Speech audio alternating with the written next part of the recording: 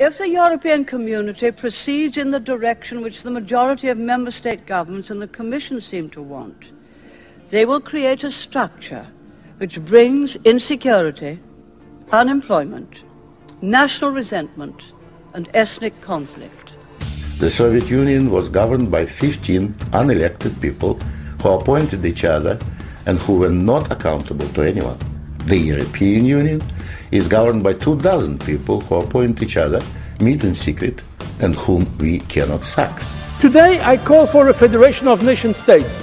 In the Soviet Union, they told us we needed a federal state to avoid war.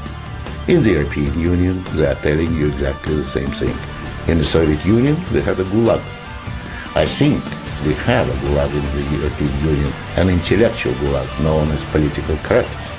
Anybody that stands up here and dares to give a political view that is different to the received wisdom is written off as mad, insane, violent, fascist. In the EU, there are hundreds of thousands of bureaucrats with their huge salaries, their staff, servants, bonuses, and privileges, their lifelong immunity from prosecution, which is simply shuffled from one position to another, no matter what they do or fail to do.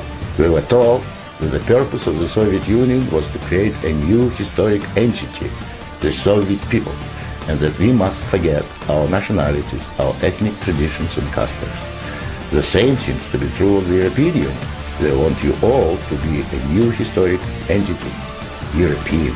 You now want this flag, this flag, and a new anthem to replace nation states, and you don't care how you get there.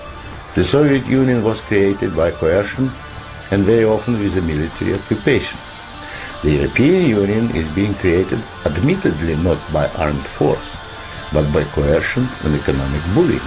You are one of the many academics throughout the universities of the European Union who is effectively paid to indoctrinate people with a certain line of thinking. We had the French say no.